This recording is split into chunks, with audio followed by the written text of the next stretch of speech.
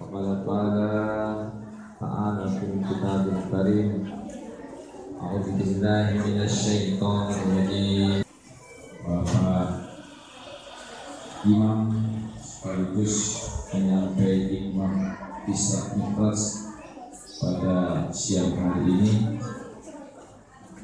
yang kita hormati, kita muliakan dan kita banggakan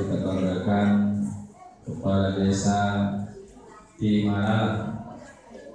beserta dengan unsur-unsurnya mungkin ada Bapak Kadus yang saya hormati insyaallah sama-sama dimuliakan oleh Allah Subhanahu wa taala. Syukur kita hanya kepada Allah Subhanahu wa taala di mana hari ini Allah Subhanahu wa taala yang paling dicintai Allah Subhanahu wa taala di muka bumi. apa ke lo pas pur merekam